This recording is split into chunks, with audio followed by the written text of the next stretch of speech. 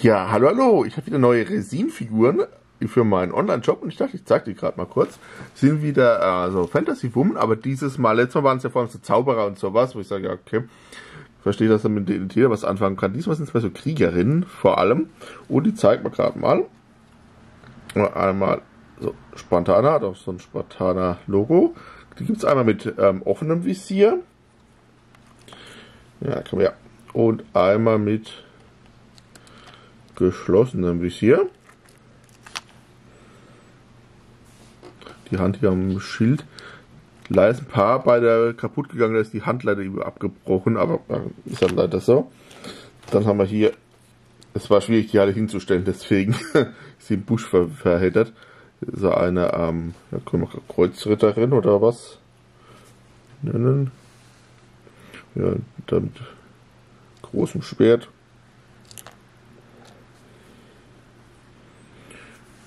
Die hier, das war so einer Wikingerin nachempfunden. Jetzt kodieren soll, damit man die, die Gesichter besser erkennen. Aber ja, ich denke, Frau mit Schwert kann man bestimmt für irgendwas brauchen. Dann ein bisschen, ähm, na komm her. Mit, mit Bogenschütze. Frau mit Bogen. Kann man nicht auch für alles Mögliche brauchen. Bisschen klischeehaft, aber ja gut. Ähm, dann haben wir hier, ähnlich wie letztes Mal, ich hatte eine Feuerhexe, die hat die Augen verbunden gehabt, die ist ganz ähnlich, also er hat Feuer auf beiden Händen. Was ich ein bisschen schade finde, ähm, die Feuerhexe hatte noch so eine ganze Menge ähm, ähm, ja, gebundelt gehabt, so, so am, am, Gürtel oder so. Das hätte die jetzt auch haben können, das hätte ich jetzt cool gefunden. Ich hätte einfach die Feuerhexe einfach ohne die Augenbinde genommen. Aber gut, äh, warum nicht gerade was Magierin oder wie gesagt Feuerpriesterin habe ich es genannt. Dann dann haben wir so Wikinger mit Schwert und alles. Die könnte man auch eigentlich für alles mögliche verwenden. Auch was weiß ich, wenn ich jetzt, ähm, was weiß ich, im Mittelalter oder, oder ähm, egal was ich baue, der Zweiten Weltkrieg baue, könnte ich als Statue irgendwie auf so einen Dorfplatz setzen zum Beispiel. Oder, ja, sowas könnte ich mit der auch machen von der, von der Pose her. Genau, Krieg, wenn ich sage, ich will ein Kriegerdenkmal bauen als Germania oder sowas oben drauf setzen. Ähm, dann sind alle da, alle tot. Ähm, da haben wir, das ist eine Ägypterin, da gibt es ein paar mehr, die haben dann mehr so, ja, das hat man, das war die am besten gefallen, also Cleopatra. Also wer irgendwas Cleopatra Caesar bauen möchte, da, da hilft, ist die Figur bestimmt nicht verkehrt.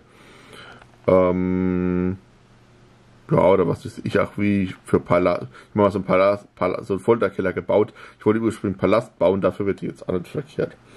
Und dann letztes, ich habe auch noch eine Piratenfigur, die zeige ich jetzt aber nicht extra. Ähm, die ich gerade aus dem, die wird mit, mit der Support jetzt geliefert, weil die recht empfindlich ist.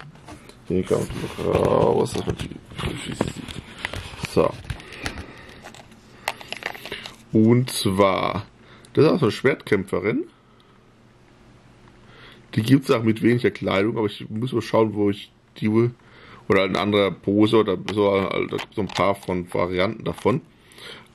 Aber es hat da einfach mit, ja, mit Röckchen sozusagen und Schwertchen. Und ja, Schwertchen ist ein bisschen das falsche Wort, das ist riesengroß. Ähm, gesagt habe ich jetzt, befürchte, wenn ich es rausnehme, dass das bricht, da bin ich nicht so gut drin, leider. Ähm, gut, könnte ich jetzt auch verwenden, einfach als Figur irgendwo oder auch als, als, als ähm, Denkmal irgendwo oder sowas. Mal, ja, mal schauen, was wir damit machen können ja, ich denke, ich werde vielleicht ein, zwei Mal bemalen, aber im Großen und Ganzen, ja, die gibt es jetzt im Shop. Ich mache einfach mal einen Link wieder drunter. Bis dahin, tschüss.